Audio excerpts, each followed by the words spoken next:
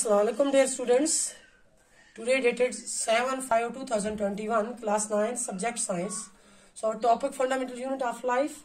तो आज का जो हमारा सब टॉपिक है दैट इज़ वैक्यूल्स जैसा कि हमने कल पढ़ा अबाउट प्लास्टर्स के बारे में, हमने कल पढ़ा, प्यारे बच्चों तो प्लास्टर में हमने देखा, हमारे पास कितने तरह की, तरह के प्लास्टर्स होते हैं, कौन सा कलर कलरलेस होता है और कौन सा कलर्ड होता है तो आज जो हमारा है दैट इज़ वैक्यूल्स थोड़ा वैक्यूल का हम देख लेते हैं। तो हमने प्लांट सेल की डायग्राम बनाई है और उसके बाद एनिमल सेल की डायग्राम बनाई है। तो हमने देखा वैक्यूल जो है वो किसमें लार्ज साइज़ है और किसमें स्मॉल साइज़ है। तो जनरली हम देखते हैं, जब वैक्यूल्स की बात हम करें तो प्लांट सेल जो है उसमें हमने देखा था कि बहुत बड़ा वैक्यूल होता है सेंट्रल वैक्यूल तो और जो एनिमल सेल है उसमें बहुत स्मॉल साइजेड होते हैं। जनरली दे आर एबसेंट अगर प्रेजेंट होंगे तो बहुत स्मॉल साइजेड में प्रेजेंट होते हैं। तो वैक्यूल जो है वैक्यूल्स जनरली वैक्यूल जो है वैक्यूल वैक्यूल्स जो है they are storage they are storage sacs sacs for solid और लिक्विड सॉलिड और लिक्विड कंटेंट्स ये जो है, ये स्टोरेज सैक्स होते हैं। मतलब इसमें तमाम चीज़ें जो है, वो स्टोर रहती है किसके लिए? सेल के लिए। और वैक्यूल जो है they are small size in animal cell while plant cell जो है they have very large central vacuoles the central vacuole of some plant cell जो है may occupy 50 to 90 percent fifty to 90 percent जो है इसमें of cell volume cell का जो volume है, तकरीबन 50 टू 90 परसेंट इसी के ऊपर डिपेंड होता है सेंट्रल वैक्यूल के ऊपर. और इन प्लांट सेल जो है vacuoles are full of cell sap and provide turgidity and rigidity जो हमारा टर्जिडिटी और रिजिडिटी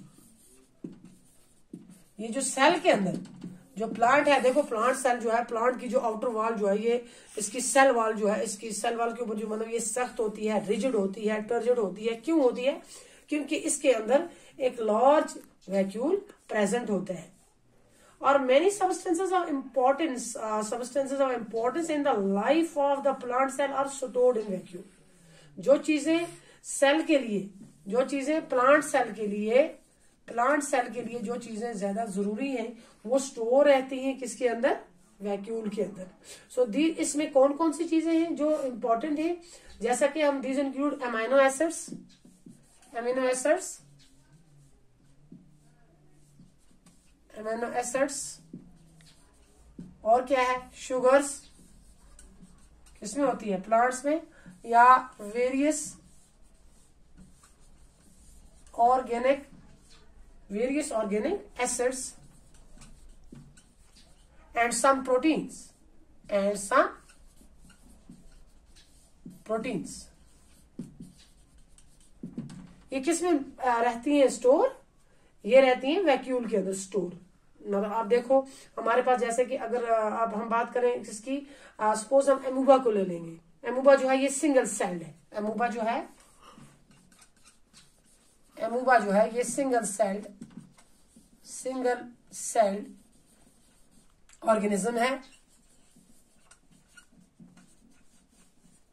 सिंगल सेल ऑर्गेनिज्म तो इसके अंदर जो फ़ूड वैक्यूल है food vacuole contain the food items that the amoeba has consumed जो फ़ूड वैक्यूल है इसके अंदर फ़ूड वैक्यूल इसमें क्या होता है? कंटेन फ़ूड इसमें क्या होता है? फ़ूड होती है, जो जमा रहती है किसके लिए? एमूबा के लिए, और जो एमूबा जो है वो इसे कंज्यूम करता है, खर्च करता है। या अगर कुछ और देखो, जैसे कि हमारे पास इन सम यूनिसेलुलर ऑर्गेनिजम्स जो हैं मतलब हमारे पास कुछ यूनिसेलुलर यूनि जो है वो भी और दूसरे ऑर्गेनिज्म भी हैं जिसमें एक सेल होता है। स्पेशलाइज्ड वैक्यूल जो है also play important role in expelling excess water in some waste from the cell हमारे पास जैसे अमूबा है ये भी सिंगल सेल ऑर्गेनिज्म है ये भी इसको हम यूनिसेलुलर ऑर्गेनिज्म कहते हैं।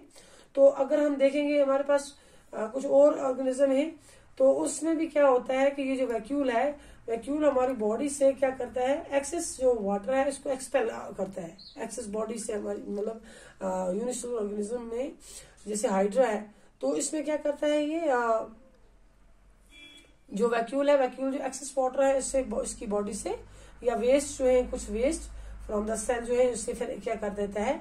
एक्सपेल कर देता है।